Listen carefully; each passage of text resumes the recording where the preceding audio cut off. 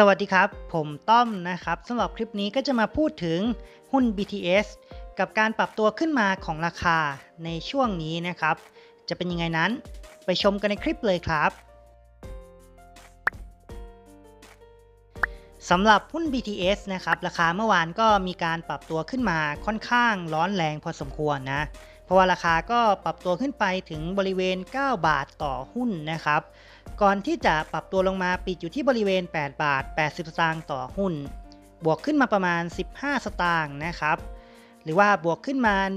1.73%เมื่อเทียบกับราคาของวันก่อนหน้านั้น ซึ่งถ้าใครที่เข้าไปอ่านข่าวก็น่าจะรู้นะครับว่าทำไมถึงหุ้น BTS ถึงมีการปรับตัวขึ้นมาในครั้งนี้นั่นเองนะครับ โดยที่ในรายละเอียดข่าวเนี่ยเขาก็ระบุว่านะครับการปรับตัวขึ้นมาของราคาของหุ้น BTS ในช่วงที่ผ่านมานะครับก็เป็นการตอบรับศาลปกครองนะครับมีคำสั่งให้กรุงเทพมหานคร และบริษัทกรุงเทพธนาคมจำกัดนะครับจ่ายค่าจ้างเดินรถไฟฟ้าสายสีเขียวที่ค้างชำระให้กับบริษัทขนส่งมวลชน กรุงเทพจำกัดมหาชนนะครับหรือว่า BTSC ซึ่งก็เป็นบริษัทย่อยของทาง BTS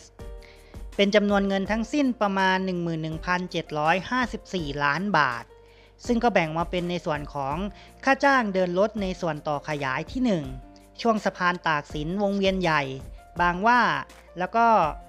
อ่อนนุชแบริ่งนะครับ ซึ่งค้างชำระหนี้ตั้งแต่เดือนพฤษภาคม 2562 ถึงเดือนพฤษภาคม 2564 รวมดอกเบี้ยก็ประมาณ 2,348 ล้านบาท แล้วก็ในส่วนต่อขยายที่2นะครับช่วงแบริ่งสมุทรปาการ แล้วก็ช่วงหมอชิดไปสะพานใหม่คูคตนะครับซึ่งก็ค้างชำระหนี้มาตั้งแต่ช่วงเดือนเมษายน 2560 ถึงเดือนพฤษภาคม 2564 รวมดอกเบี้ยก็ประมาณ 9,406 ล้านบาท ก็รวมๆแล้วก็เป็นเงินทั้งหมดประมาณ 11,754 ล้านบาท ที่ศาลเขามีคำสั่งให้ทาง กทมนะครับ แล้วก็บริษัทกรุงเทพธนาคมจำกัดเนี่ยมีการชำระ ซึ่งจะต้องชำระเงินภายในระยะเวลา 180 วัน นับตั้งแต่คดีถึงที่สุดแล้ว อย่างไรก็ดีนะครับ คดีมันก็ยังสามารถที่จะยื่นอุทธรณ์ได้อยู่นะครับ ดังนั้นทางกรุงเทพธนาคมก็จะมีการยื่นอุทธรณ์ในลำดับต่อไป ซึ่งในวันนี้นะครับวันที่ 8 กันยายน 2565 ก็จะมีการประชุมคณะกรรมการกรุงเทพธนาคม ช่วงเวลาประมาณ 8 นาฬิกา 30 นาทีถึง 11 นาฬิกาตรงนะครับ จากนั้นเขาก็จะมีการนำเสนอต่อผู้ว่าราชการกรุงเทพคนปัจจุบันนี้นะครับ เพื่อพิจารณาต่อไป ก็ถือว่าเป็นข่าวดีของหุ้น BTS นะครับ แต่ว่ามันก็ยังไม่ถือว่าเป็นข่าวดีที่สุดของเขา อย่างที่บอกครับคดีมันยังสามารถที่จะยื่นอุทธรณ์ได้อยู่นะครับ แล้วก็จำนวนเงิน 11,754 ล้านบาทเนี่ย เขายังไม่ได้รับเข้ามานะครับ เพราะฉะนั้นมันก็เลยยังพูดได้ไม่เต็มปากว่าเขาจะมีโอกาสได้รับเงินตรงนี้หรือเปล่านะครับ ในช่วงนี้หรือในช่วงเร็วๆนี้นั่นเองนะครับ เมื่อเราไปดูในส่วนของงบกระแสเงินสดในงบสิ้นปี 65 นะครับ ก็คือสิ้นสุดก็คือวันที่ 31 มีนาคม 2565 ที่ผ่านมา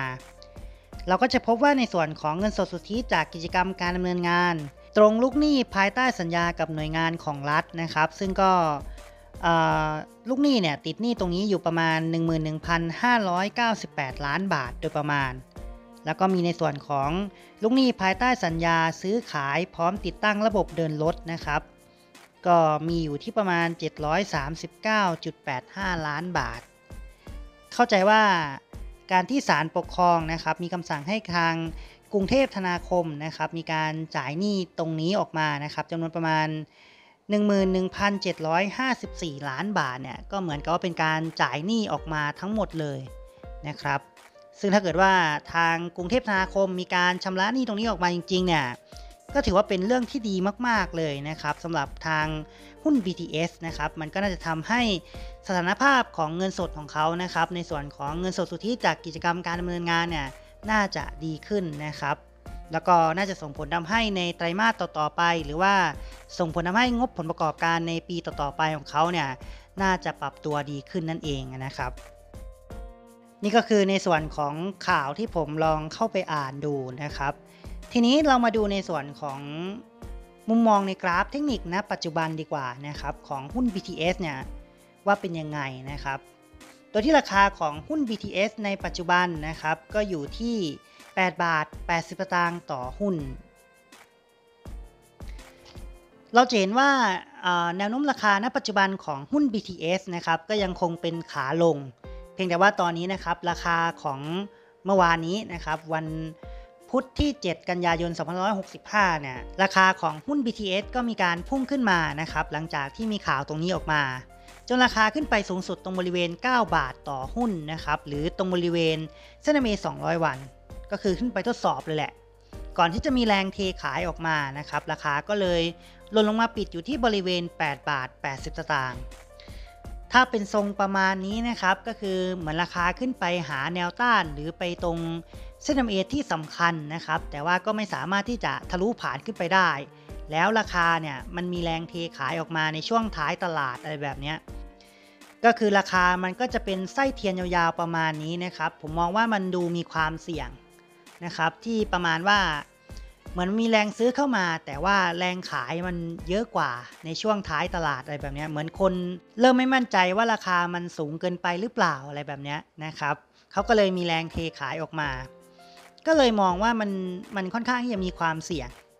นะครับ ประกอบกับในส่วนของเส้น RSI เนี่ยก็ เริ่มเข้าใกล้โซน overbought แล้วด้วยนะครับ ก็เลยมองว่าเหมือนเป็นสัญญาณเตือนนะครับ ว่าในรอบที่ผ่านมาเนี่ยมันมีแรงซื้อเข้ามาค่อนข้างเยอะนะครับ ดังนั้นผมเองคิดว่าวันนี้เนี่ยราคาอาจจะมีการซึมขึ้นมาได้บ้างนะครับ แต่คิดว่าโอกาสที่จะผ่านตรงบริเวณเส้นเม200 วันเนี่ยมันก็ค่อนข้างเป็นเรื่องที่ท้าทาย แต่ถ้าเกิดว่าสามารถผ่านขึ้นไปและยืนเหนือได้นะครับ ก็มีโอกาสที่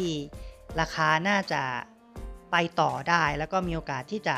เปลี่ยนแปลงแนวโน้มได้หรือเปล่านะครับ ซึ่งอันนี้มันอาจจะต้องมาลุ้นกับในเรื่องของการชำระหนี้ตรงนี้นะครับของทางกทมนะซึ่งก็น่าจะเป็นปัจจัยที่อาจจะทำให้ราคาของหุ้น BTS เนี่ยเปลี่ยนแนวโน้มได้นะครับ เมื่อเรามาดูในส่วนของกราฟรายสัปดาห์นะครับ เราก็จะเห็นว่าแนวโน้มราคาของหุ้น BTS นะครับก็ยังคงเป็นขาลง พียงแต่ว่านะครับในรอบที่มันผ่านมาเนี่ยราคาของเขายังไม่ได้มีการสร้างนิวโลนะครับถ้าเราลองตีกราฟเข้ามาใส่เนี่ยราคายังไม่ได้มีการสร้างจุดต่ำสุดใหม่เลยนะ ก็มองเป็นเรื่องที่ดีนะครับในส่วนของราคาของหุ้น BTS ซึ่งถ้าเราดูทรงราคาณปัจจุบันเนี่ยก็เหมือนกับว่าราคาก็ลงมาหาแนวรับ แล้วก็เริ่มมีการเด้งกลับขึ้นมานะครับถือว่าเป็นช่วงที่ดีนะครับมีโอกาสที่ราคาน่าจะมีการปรับตัวขึ้นไปนะครับ ถ้าเราดูจากราคาในอดีตนะครับที่มันเกิดขึ้นแล้วลองตีกราฟเข้ามาใส่ดู ประกอบกับในส่วนของเส้น RSI นะครับในกราฟรายสัปดาห์เนี่ยก็เริ่มมีการรีบาวกลับขึ้นมา แล้วก็อยู่ระดับกลางๆด้วยนะครับก็ต้องลองไปพิจารณาเพิ่มเติมนะสำหรับใครที่ติดตามหุ้นตัวนี้อยู่นะครับโอเค ก็ประมาณนี้นะครับสำหรับหุ้น BTS เพื่อนๆมีความคิดเห็นยังไงนะครับลองมาคอมเมนต์พูดคุยกันหน่อยละกัน อะสำหรับคลิปนี้นะครับก็น่าจะประมาณนี้นะครับ ถ้าเพื่อนๆใดที่มีคำถามหรือมีข้อแนะนำอะไรเพิ่มเติม ก็สามารถทิ้งเป็นคอมเมนต์ไว้ข้างล่างคลิปนี้ได้นะครับสำหรับเพื่อนๆเห็นว่าคลิปนี้มีประโยชน์ก็สามารถกดแชร์ไปเพื่อนๆหรือคนที่รู้จักของเพื่อนก็ได้เช่นกัน และก็เพื่อนๆไหนที่อยากจะเข้ามาพูดคุยกับผม ก็แอดเข้ามาพูดคุยกันได้ที่แฟนเพจมือใหม่เข้าใจหุ้นสำหรับคลิปนี้ก็น่าจบแต่เพียงนี้นะครับไว้เจอกันใหม่คลิปหน้าครับ คลิปนี้สวัสดีครับ